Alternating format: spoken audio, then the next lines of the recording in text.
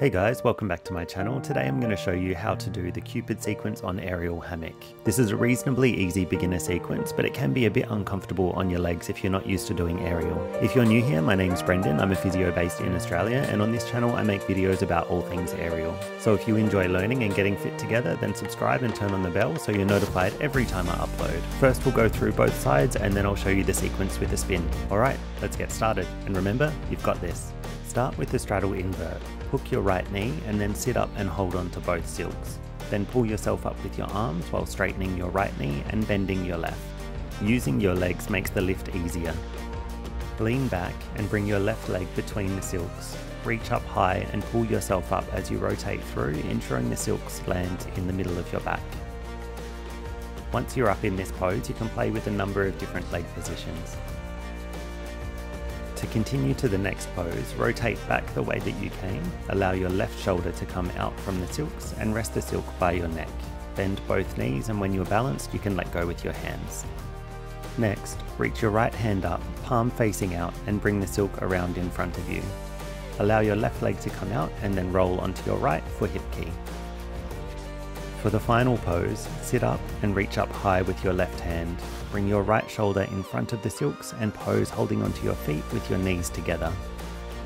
To exit, bring the silks back in front of you, lift your left leg through into sitting.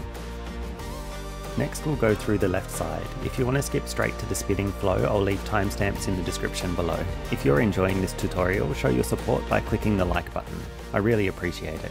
Alright, starting with the same straddle invert, this time hook your left knee over the left silk and then climb up while straightening your bent knee and bending your straight knee. Lean back and bring your right leg through and then pull up and rotate into position. Making sure the silk is in the middle of your back will help you to keep balanced. Remember to rotate back the same way that you came up. Let your right shoulder out of the silks, bend both knees and then let go with your hands when you're ready. This time snake grip your left hand to bring the silks out in front of you, let your right leg out and then hip key over to your left. For the final pose, reach up high with your right hand, bring your left shoulder through and hold onto your feet to pose. To exit, bring the silk back in front of you, lift your right leg through the middle, back into sitting. Alright, now for the fun part, let's make it flow with the spin. I've been pushing away everybody I love. I don't know what to do. Need a sign from above. I just want to be somebody who knows. Who knows how to behave. But I'm not even close. Won't you save, save, save, save me? Won't you save, save, save, save me? I am out here alone, cause there's nobody left.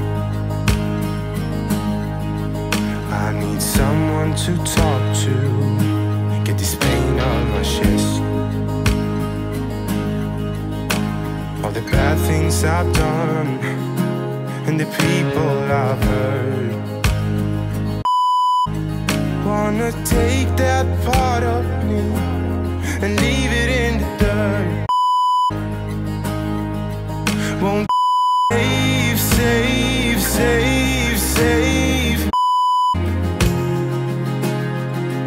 Won't you save, save, save, save me?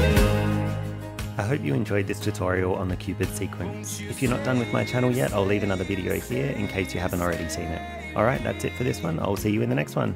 Bye guys.